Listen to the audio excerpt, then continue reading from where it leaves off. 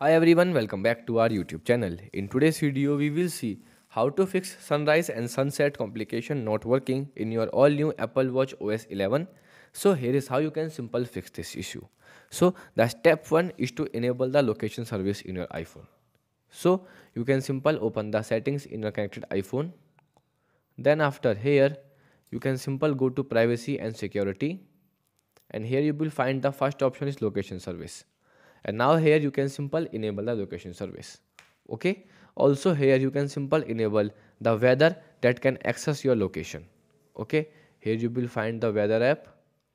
Here it is. And then here you can simple enable the service. Like while using the app or widget while using the app or always. Not set to never. Okay? The step 2 is reconfigure the complication.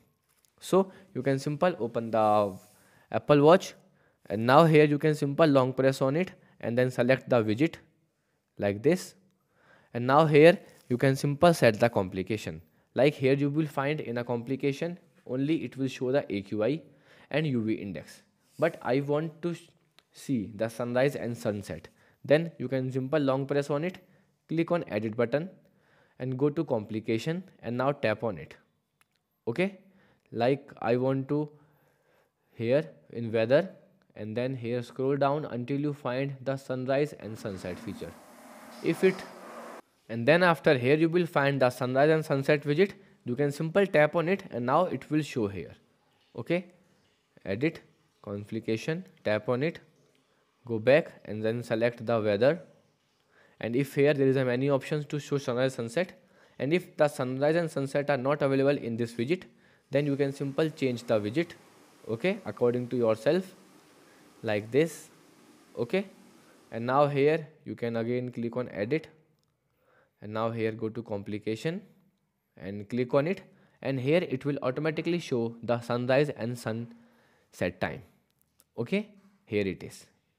So here is how you can simple do it. And still you are facing a issue. So in this case you can simple restart your apple watch.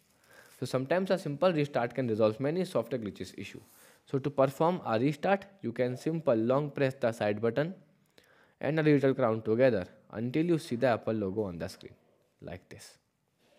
And then once you will see a black screen, you can simply remove your hands and then after you will find that the network settings and location will be refreshed and then you will find that your sunrise and sunset complication.